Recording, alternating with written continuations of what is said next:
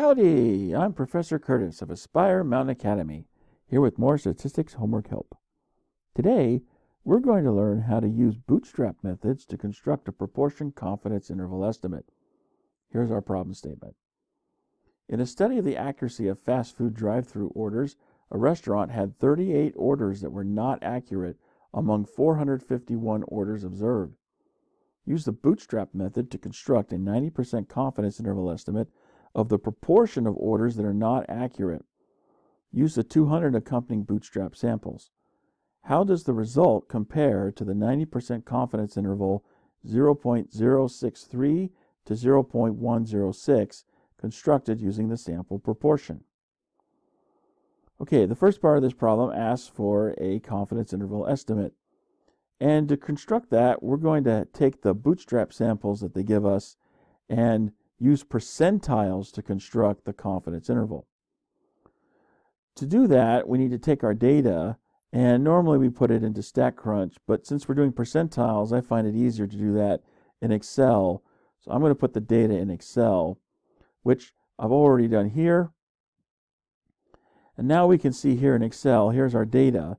So for finding percentiles, the first thing we need to do is sort our data.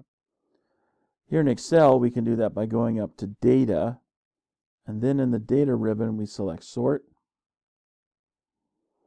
And now we want to sort by that second column, not accurate. And we want to order it from smallest to largest. So I press OK. Now my data has been reordered. We need to take these numbers here, which are counts of orders that are not accurate, and we need to convert them into proportions because we're building a confidence interval estimate on proportions, not counts. So to transform each of these numbers, we're going to let Excel do the calculation for us. And to do that, I'm going to put my, I'm going to select the cell right next to that first a sample row, and I'm going to uh, type in the formula that I want Excel to calculate. So I start out by pressing equals, and then I'm going to use my left arrow key to select that cell just to the right, and then we're going to divide by the total number of observations from the orders, which we see here in the problem statement is 451. I press enter, and there Excel has calculated everything for me. Now, notice here it says we want to round our values to three decimal places, and I can do that in Excel automatically. If I just come here, and I'm going to go back to home, and then here in my number area, I'm going to use this arrow right here to decrease the decimal to three decimal places. And lo and behold, Excel's got everything rounded for me. And this is great. All I got to do is just read the number then when we're all said and done. Okay, now to copy this formula down, I can do it in one of two ways. I can either drag it down. Notice when I take the cursor over that right bottom corner of my cell, it changes into this smaller cross.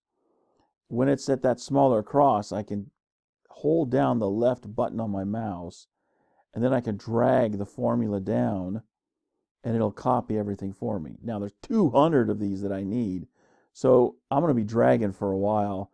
It's not the most efficient way to do this.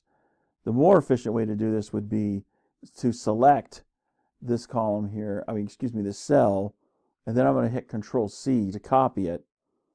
And then I'm going to go over one to the left, and then to get down to the very bottom, I'm going to press Control down arrow. And notice it instantly brought me down to the bottom of that row.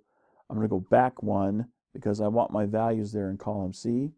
And now I'm going to press Control Shift up arrow.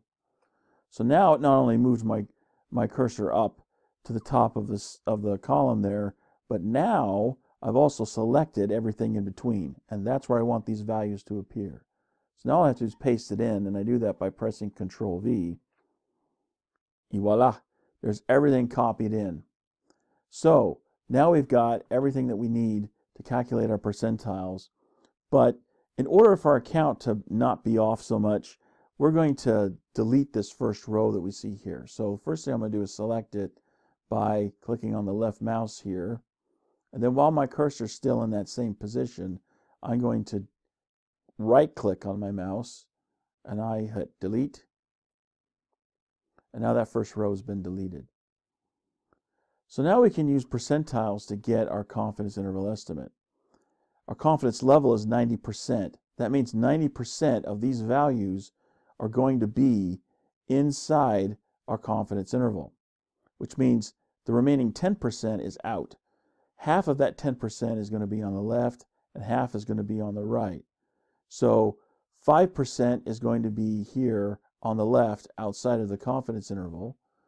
And what does that translate to as far as how many rows do we need to count down? Well, 5% of the 200 rows that we have, if I get my calculator out, I got 5% of the 200 rows gives me 10. So I need to go down to row 10.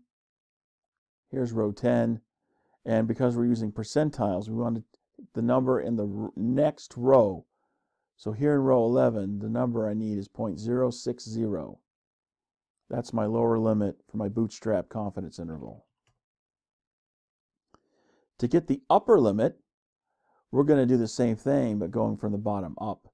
So here we went from, here we went to 10, and now we're going to go back into Excel, and I'm going to go down to the bottom of my list, and now I want to go to row 190, because 190 is 10 less than 200, and the number I need is in the next row down, which is 0.111.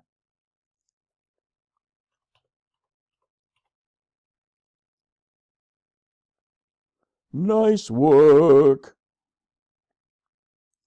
And now the second portion of this problem asks, if some portion of the confidence intervals overlap, the confidence intervals are not significantly different. The results of the two intervals are, then there's a blank so if you click on the drop-down menu, we can see that they either are or are not significantly different. Well, that's defined here as whether or not they overlap. So if we look here, up here at the top to see if they overlap or not, look at their intervals here. Notice what we have here. We've got here in this interval, we've got 0.063 is our lower limit. Here we've got 0.060. And then the upper limit, here we've got 0.106 and here we've got 0.111. So there's quite a bit of overlap between these two confidence intervals, and that means they're not significantly different.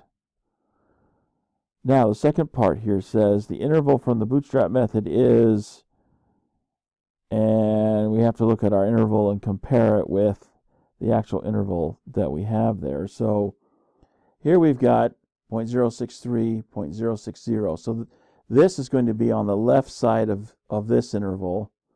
And then 0.111 is going to be to the right of our upper limit here, 0.106. So this confidence interval that we constructed with bootstrapping is wider than the, the other that we were given there in the problem statement. I check my answer. Good job! And that's how we do it at Aspire Mountain Academy. Be sure to leave your comments below and let us know how good a job we did or how we can improve. And if your stats teacher is boring or just doesn't want to help you learn stats, go to aspiremountainacademy.com where you can learn more about accessing our lecture videos or provide feedback on what you'd like to see. Thanks for watching. We'll see you in the next video.